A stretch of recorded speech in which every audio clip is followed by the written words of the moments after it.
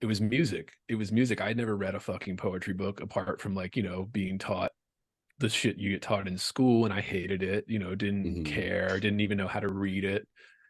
And then it was like these lyricists, these these yeah, Kurt Cobain. I mean, if you just read some of those lyrics that Kurt Cobain wrote, fucking incredible. Like Mhm. incredible images. Like Yeah. he was definitely reading poetry. like he was reading those and like He was reading the poetry for me.